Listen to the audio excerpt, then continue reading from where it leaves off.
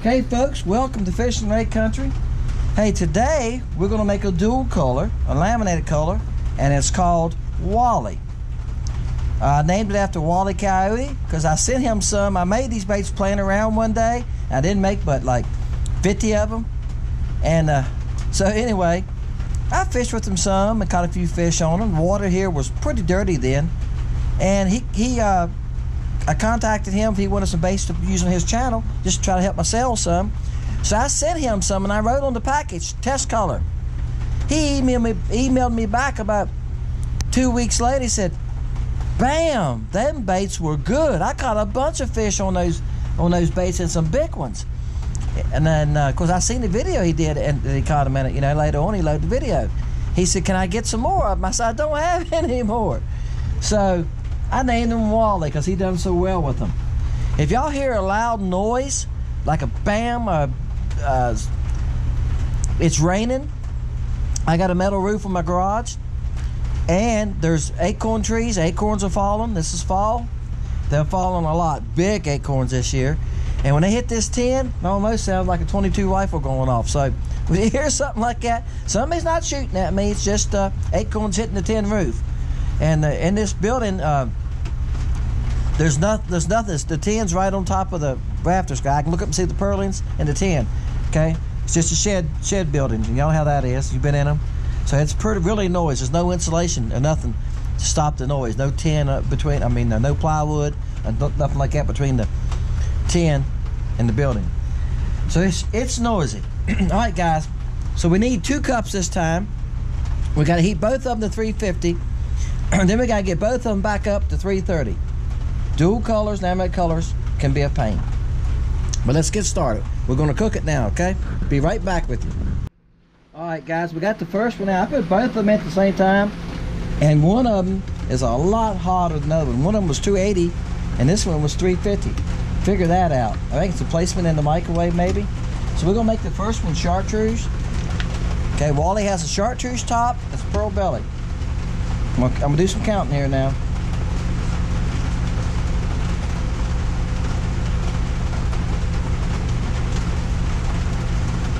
Okay. Now, guys, a disclaimer. I say this a lot. When you buy baits from me, they could be a touch different. One drop difference there can make a difference, right? So sometimes it'll double drop when you're dropping, and all of a sudden you get whoops, or if you miscount. Now, it gets chartreuse flake, and the flake changes it. I've got a video on. Uh, it's one scoopful. I got a video on make and shake the shiners, swim baits. If you haven't seen that video, we start off with pearl, silver, and black. We keep adding colors to it. And I showed you at the end how much it changed the color. All we did was add glitter, guys. We had no coloring after we started. And by the end, they looked like they were a totally different color, didn't they? So y'all remember that, if you haven't, go back and watch it. See how much difference the glitter changed it? See that? You gotta watch, touch that knife, it'll burn you. See how much it changed it? Gave it, gave it, uh, make it, made it a little darker, didn't it? All right, let's see if this one's ready. Yeah, I got a new microwave for y'all that's been watching. Uh, I've had it a week. No, I ain't had it that long. I've had it, uh, I had to go to the doctor for my wellness test. And I went to Walmart and I was looking around. I've been thinking about buying a used one. I've been looking at Marketplace. This one was $65. The ones on Marketplace are 50 most of the time and 45 I said, well, I'm just going to buy a new one. I bought it because it's nine. It's 900 watt. My other one was a 700. All right, guys. It's it's 340. I like for it to break 350. It might do okay there, but I'm gonna run it up about 15. Let's go 20 seconds. I've got to get used to this new microwave. 20 seconds is 390. Yeah, I probably didn't need to do about 10 seconds. This it's 900 watt. It's raining hard now, guys. You hear it on that tin roof. It's a 900 watt Mother one was 700 watts. Huge difference. Huge difference in timing. It's a lot faster, what I'm, I love. I love that. I just got to get used to it. All right, now this is just pearl powder. I know a lot of y'all make baits because you make comments about it. You're not copying my colors, are you? All right. So I ain't gonna tell you how much I'm putting in there because y'all just copying my colors. Guys, you know, people copy everybody online. That's why I have a custom shop, and uh, that's why I started this business. It's all because of Chuck, Chuck Eldrin. He ain't been watching lately. Uh, I see him once in a while, but he sent me some baits to fish with, and I tore the crappie up with them. I couldn't believe how fast the crappie was hitting them. I'm gonna give just a touch more than this is 008. Really fine stuff. It's almost empty, but I got a brand new can store it. when you start getting low, guys, you can sit down at what's on this order, what you need. Can't run out. No, that'd, that'd be that wouldn't be good at all, would it? All right. Now this is gonna be the, the pearl, the pearl uh, belly. All right. It's gonna be. Uh, it's shiny. I actually gonna add a touch more powder. Now what I'm doing when I do this is I'm looking how thick it is and I'm looking if I got the color I want. And I think it needs a touch more. All right. Now, I measured it from my recipe back there. A third of a scoop is what it said. But I could have a touch more plastic. I might not got quite a third of a scoop. So that's why I'm saying they can differ a little bit. Now I like that better. So it's got, it got a little thicker than the white. See that? See that shine? Yeah, we want we want them to see this bait when it comes down through the water. We want them to see it. But I'm fishing water visibility that's two and a half foot, guys, and I had no problem catching fish with this color. Now, here's the here's the part about shooting dual colors that's a pain. They gotta be close to the same color. So here, let's check it. Oh, I can tell you already stirring this one. This done got too cold. I can't even shoot it. See, it's, it's 60 degrees today, guys. I don't have no heat going on in here. I got a heater, but I don't have it on. It's down to 294. So it's got to go way up. All right, this is down, this is 325. All right, so this is the hard part. Getting both of these the same temperature. So now I'm gonna run this one up. I'm gonna run it 25 seconds because it's gotta be a little hotter so this, while it's cooling while this is going up. When I get both these the same temperature, I'm gonna move y'all over to the right and we're gonna shoot. Okay, folks. hey, I, being funny with y'all, I think I finally got them both the same temperature. Hardest part, that's why nobody likes to shoot dual injection. Uh, or I, say it another way. That's that's the hardest part about dual injection is getting both of them the same uh, color when you're doing laminations. And I watch these guys on YouTube do three at a time. I, I, I can't imagine that. But doing two at a time is enough problems.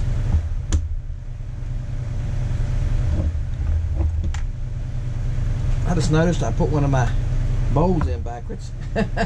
See why I spun it around? That's why I've got them marked. Alright. Trying to tap them off here a little bit. It gets very hard to tap them off with a dual injector because it's setting up on me what I'll do, I'll take the cup. I'm gonna block the wind here. I'm not blocking where y'all can't see. That's not what I'm trying to do. What I'm trying to do, there you go, is top them off. You let that thing suck down, you get air. Sometimes the first couple ones will have air pocket and sometimes a lot of them. Now, that was a little hot. That was 340, 335. I like to, I like to be at 2, 325, 330. And it depends on the molds. It varies some, but you get it too hot sometimes, they'll mix the liquids will mix, you won't get that separation. But let's see what happens. We're gonna open them up in here in a minute, and this is what we got. Let's let them cool.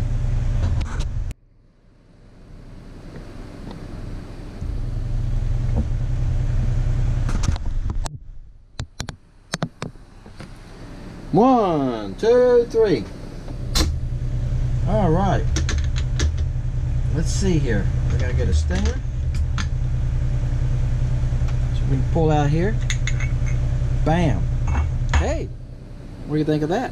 Pearl on one side, and look, chartreuse on the other. Bam. Let's get another one here. Open a couple of these. Alright, there you go.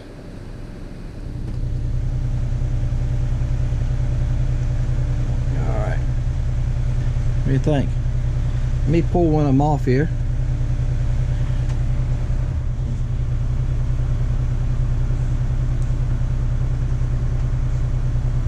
They're pretty, ain't they?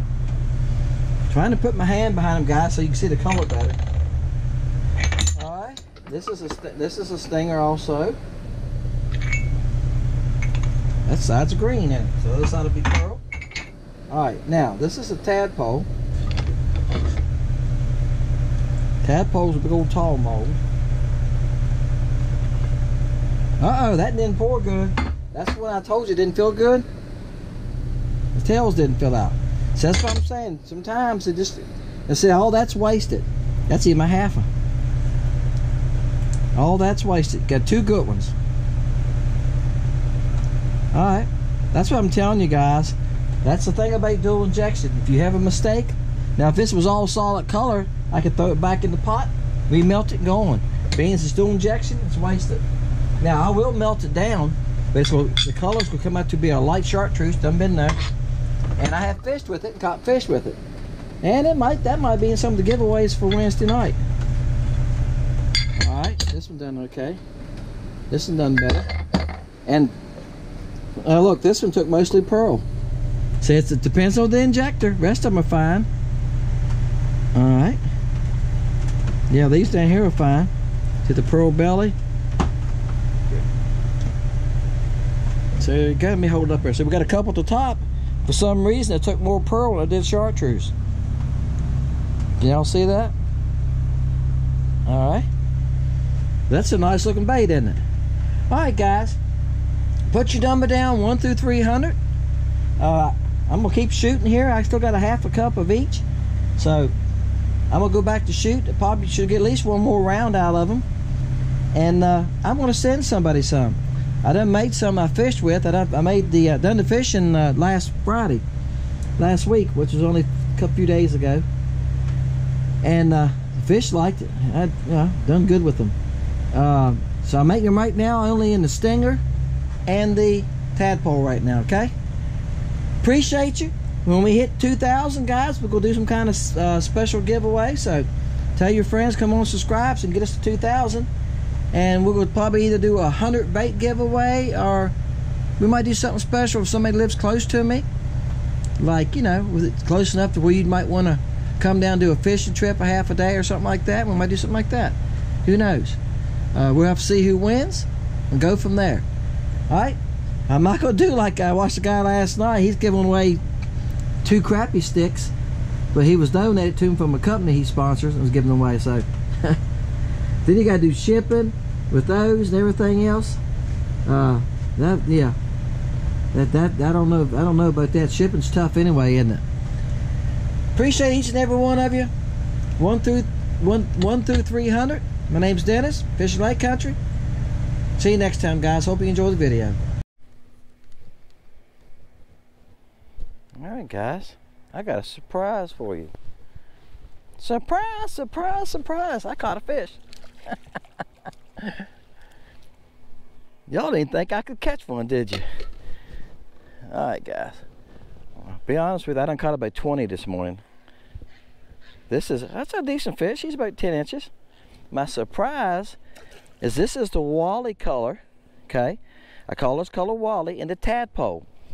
Now, uh, I, I got a video coming up that I'm going to load here shortly before you see this one of the Wiley color in the stinger. I'm making it in the stinger and the, and the tadpole right now. Thinking about trying it in the Tweety bird. But you can see the top half if is chartreuse. It's the sunshine color. That's what it is. Top half is sunshine with 015 chartreuse flakes. Got bigger flakes. At the bottom half is just pearl powder with 008 silver flakes and it's a bunch of them. That's why it looks silver looking. I put enough in it to, so it's silver looking, okay? The water has, right now, our water has uh, two and a half foot visibility. I've been playing around by dropping my bait down, see how far I can see it. And that's, that's gonna help it. It would work in clear water, but not crystal clear water. If you got visibility four or five feet, it might be a little much. But I'm gonna say three foot of visibility and less. It's gonna be good. Uh, it might even be good if uh, a little, just a little stain to the water. I'm in back of a creek. Y'all can tell it's cool. I'm gonna take my shirt off now. Water's 66 we've had a lot of cool weather. They're stocking up in the back of these creeks after shad, and they're stopping on any cover. Uh, some of the videos I've been making this fall, y'all been seeing, I catch them off of stumps, I catch them off little brush piles, docks, anything in the back of these coves. Now I'm in eight foot of water. It seems like as I go back a little further to get shallower, they quit on me. It seems like the eight foot is about as shallow as they want to get right now. Maybe as this water cools, they'll get a little shallower, okay? But right now, that's about it, all right? All right, guys, I went through a spell here where I, I hooked about four in a row and lost them. So I changed hooks. And sometimes I got to see a couple of fish. They were decent fish. Sometimes they're small fish. Sometimes that's why you lose them. You're hitting the bites, but see, he's not that big. They're just not getting the, well, shoot, there it is. Bent my hook too. Um, I straightened my hook some. When you straighten them, when you take a pair of pliers and you bend that hook, you weaken a little bit. But uh, I didn't realize I'd bent it that much. I'm gonna bend it back. But what I done was, some of these hooks, some of them get a little, they're bent down too far like this. And that's why you mess them. But I had a I had a gold hook on. I had y'all seen what I had on there. I had one of my split shot hooks on there. And I usually have no trouble with those. But after I lost about four in a row with that, I thought, well, I need to do something. So I went to this hook and I had a couple bites, and that's the first one I've caught on it. And I think a lot of it is they're not hitting it hard. They're being a little finicky. There's a lot of shad running around here. And they're probably going like, uh, I ain't sure that thing's real. Let's just bite on it one time and see. And I think that's what happens to us a lot of times when we get those little bumps and we don't hook up. They really don't want it. They really they're checking it out. Uh, some of y'all guys that trout fish. I know my brother's a trout fisherman, and he says sometimes a trout will swirl out a bait. And people go like, "I had a hit." He said, "No, he checked it out. It was he didn't want it. He came up, and swirled at it, and looked at it. See, he checked it out. That makes sense. When he got to it, he didn't, he didn't want it. He just made a he made a turn and went back down. That's what the circle. That's what the splash was. It wasn't him smacking it. It was him retreating back to where he was. Does that make sense to you? And sometimes I think the crappie do the same thing. I think sometimes uh, that's what they do. They come up and they, they bite down on it, or they come up and just bump it. I don't if they even got their mouths open, but I can see them on the live scopes doing that. It'll be three or four behind it, and I can feel it going bump, bump, bump, bump, bump. And if you pull on it a little bit, there's nothing there. They're either pulling the tail like a sun perch does, and I don't think crappie is that much of pulling the tail because that Tweety bird, I've lost about two tails the whole time, guys. And I think I knocked some of them off off hitting the docks trying to skip underneath of them. You're right, right? I think so. It's me. But I, I maybe had, let's say five all year, all summer. Okay, and this is October. This is almost, guys. This is end of October that I've lost the tails on. A couple of them to fish because I had bites and messed them. Some of them I think is me because I have fished with them a good while and I think I done beat, beat them up trying to cast them. You know, hitting the docks and things like that. But anyway, they could pull them off if they want to if they Tweety bird if they grab them hard enough. So I don't I don't think they're grabbing the tail. I think they're I think they're biting down on the body. They just don't want it. They're not sure they want it. They're checking it. Uh, is it real? You know what I'm saying? Oops, I got a bump right there. Is it real?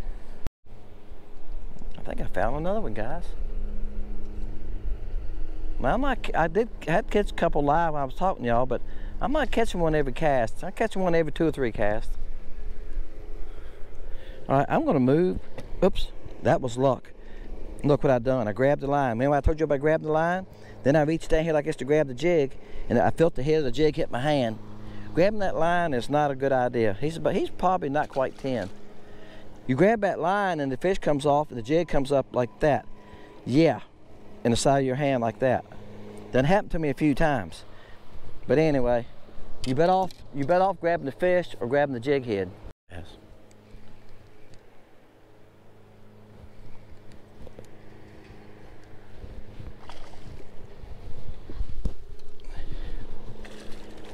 It's a decent one, guys.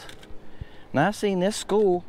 This school was coming down through there and I threw out in front of the school and it sank fast enough that they grabbed a hold of it.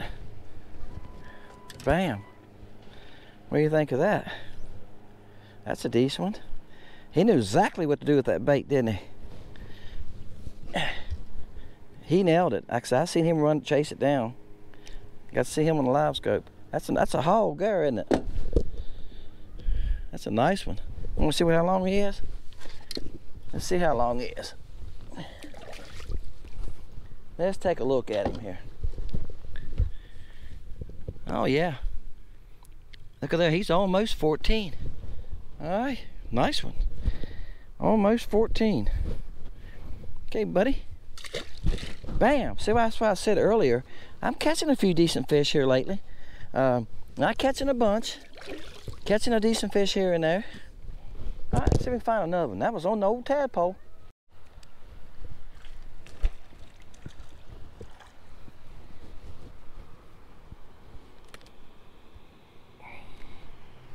Bam. All right, guys, I checked all these docks down through here from far as you can see up through there. This is the only one I found crappie on. I seen some bass on the, uh, seen some bass on another one up there, but that's the only one I've seen any crappie on. All right, guys, this um, this tadpole, one of the things I want to share with you, fish just broke in front of me, is it skips like a dream. So once you hit the water there at the docks, you just went on back through there. Because uh, it's got a big body, I'm fighting boat traffic, guys, right now. Jet skis and stuff. Bass fishermen. uh, it, it, it, skips good because it's got a big body, and it'll go on back through there. All right. So if you're hunting for a bait to skip docks with, Tweety bird, the stinger, and the tadpole skip the easiest.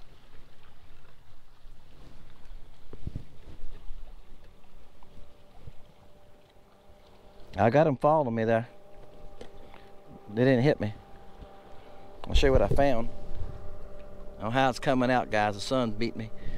Quite a quite a group of them there, but uh, oops, they beat me. I'd probably go to a bug and sit here and slaughter them. When the when they're tough like that, the fishing's not easy. They were after a cold front.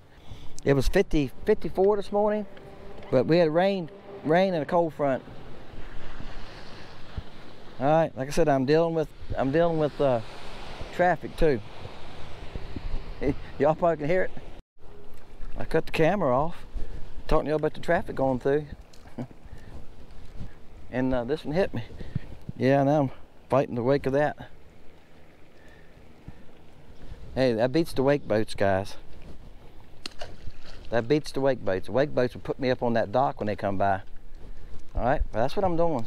They're right, they're back under there. See there? Yeah, that tadpole goes on. Now it's a good sized body. So crappie that size, that crap is probably eight and a half, nine inches. Mm, they'll hit it, but it's two inches long, but it's got a fat body. I could go back to the bug or the Tweety bird and sit right here and catch at least 10 of those, eight or 10 of those before they quit on me. All right. But I'm doing a pour to catch with the tadpole, so I got to stay with it. it's not about how many numbers I catch today, it's about catching fish. They're beating it. I feel them hitting it.